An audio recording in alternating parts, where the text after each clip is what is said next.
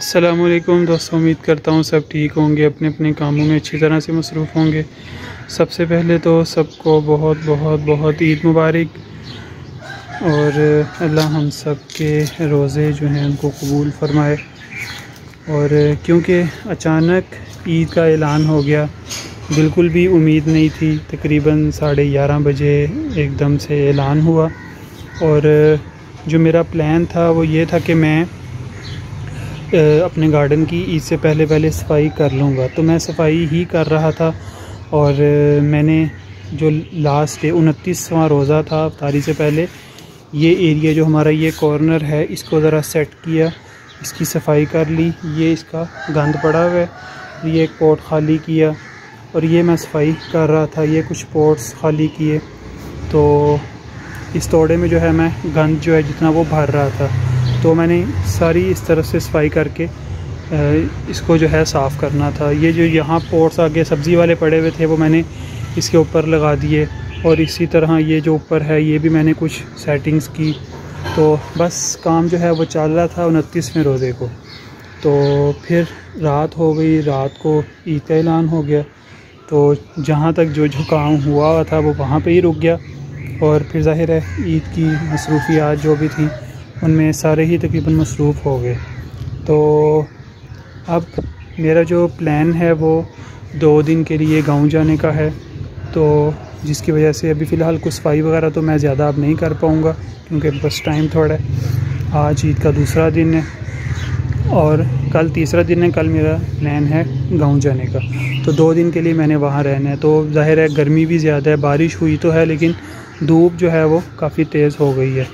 तो उसकी वजह से मुझे अब आ, कुछ ऐसे काम करने हैं जो कि दो दिन ये यहाँ पे आ, प्लांट्स को पानी की कमी ना हो। क्योंकि धूप तेज़ है। पहले ये होता था कि ज़्यादा दिन के लिए मैं जाता था तो इसके लिए ज़्यादा कुछ मुझे करना पड़ता। लेकिन अभी यह है कि दो दिन है और मैं तकरीबन दो दिन के लिए जो हमारे बाहर प्लांट्स हैं उनके लिए तो ख़ास नहीं कर करूँगा।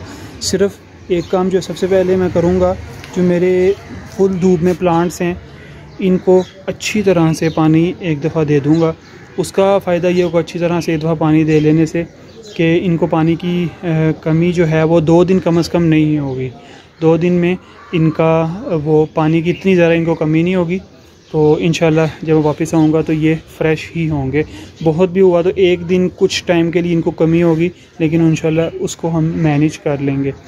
और ये सब्ज़ी वाले प्लांट्स ख़ास तौर पे इनकी मुझे थोड़ा सा ज़्यादा मसला है, क्योंकि यहाँ पे फुल डे के लिए धूप यहाँ पे रहती है।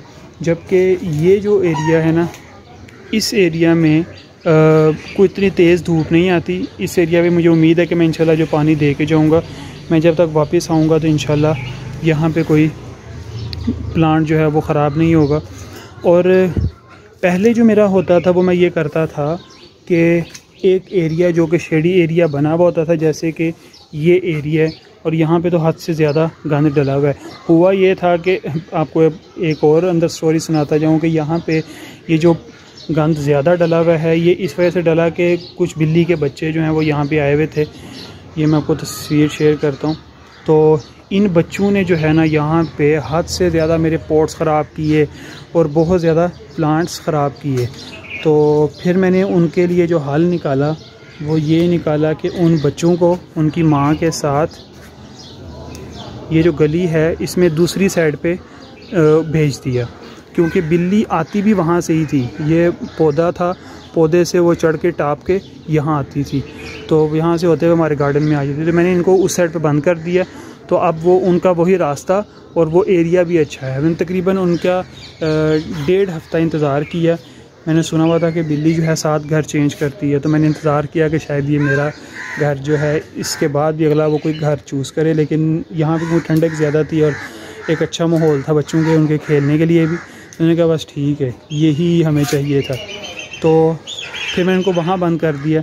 अच्छा हम बात कर रहे थे कि मैं पहले क्या करता था? पहले मैं ये करता था कि ऐसे ये शेडी एरिया बना हुआ है तो मेरे जितने ऐसे प्लांट्स होते हैं जिनको पानी बहुत ज़्यादा चाहिए होता है, या धूप में उनको बहुत जल्दी उनका पानी खुश्क हो जाता है तो वो मैं सारे प्लांट्स या अपने इस एरिया में रख देता था और ये एरिया बिल्कुल, ये भी जो है ना, इसको भी बंद कर देता था ताकि बिल्कुल धूप जो है इन प्लांट्स में ना पड़ सके और तीन से चार दिन हम रहते थे गाँव तो उसमें वो ठीक रह सकें। लेकिन अब क्योंकि मैं एक तो जा भी थोड़े दिन के लिए, सिर्फ़ दो दिन के लिए जा रहा हूँ और इतना ज़्यादा मैं इनके लिए वो काम करूँ तो वो ज़रा मुश्किल होगा। तो इतने प्लांट्स को यहाँ शिफ्ट करना, फिर वापस रखना। तो इसलिए अभी फ़िलहाल मैं ये कर रहा हूँ कि मैं ये, मैंने चद्दर एक ली है, ये मोटी चद्दर है। इससे ये वाला जो एरिया हमारा खाली है, इधर तो ग्रीन नेट लगा हुआ है, इस एरिया में मैं इस चद्दर को लगा दूँगा। तो ये हमारा तकरीबन शेडी एरिया बन जाएगा, क्योंकि यहाँ पे जो प्लांट्स हैं ना, वो ज़रा अच्छे और महँगे और ऐसे प्लांट्स हैं जिनको पानी की कमी होगी तो वो ख़राब हो सकते हैं। तो इस एरिया को मैं कवर कर दूँगा। तो इन मेरे आने तक ये एरिया भी जो है, ये ठीक रहेगा। तो मैं ज़रा कवर कर लेता हूँ, फिर आपको दिखाता हूँ। तो ये मैंने लगा ली है, ये आप देख सकते हैं। ये एरिया बिल्कुल जो अंदर वाला एरिया कमरा बन गया और अब धूप जो है वो क्रॉस नहीं हो सकती तो ये हमारा अच्छे से इन ये जगह ख़राब नहीं होगी। सफ़ाई जो है वो इन वापस आके दोबारा से अपनी गार्डनिंग की रूटीन जो भी होगी वो हम इन करेंगे और सफ़ाई भी तब हो जाएगी। तो अभी फ़िलहाल मैं यही शेयर करना चाह रहा था कि आपने कहीं जाना हो या छुट्टियों पे कहीं पे भी आप जाएँ, थोड़े दिन के लिए या ज़्यादा दिन के लिए तो एक तरीका तो यह है कि आप इस तरह कवर करके प्लांट्स अंदर रख के अच्छी तरह से पानी दे के उनको चले जाएँ। तो वो इजीली आपका टाइम निकाल सकते हैं। अंदर जो ज़्यादा इस स्टैंड पे प्लांट पड़े हुए हैं ना, इसमें तो सेकुलेंट्स वगैरह, उनको तो इतना इशू होता ही नहीं है। पानी का ज़्यादा कमी उनको होती भी नहीं। जो हमारे दूसरे प्लांट्स हैं हाउस प्लांट्स वो ज़्यादातर हमारे ख़राब हो सकते हैं पानी की कमी की वजह से। तो ये मैंने कर दी है। तो दूसरा एक तरीका जो है, अगर आप जा रहे हैं तो वो ड्रिप इरीगेशन सिस्टम होता है। वो कुछ तस्वीर मैं यहाँ पे लगा देता हूँ।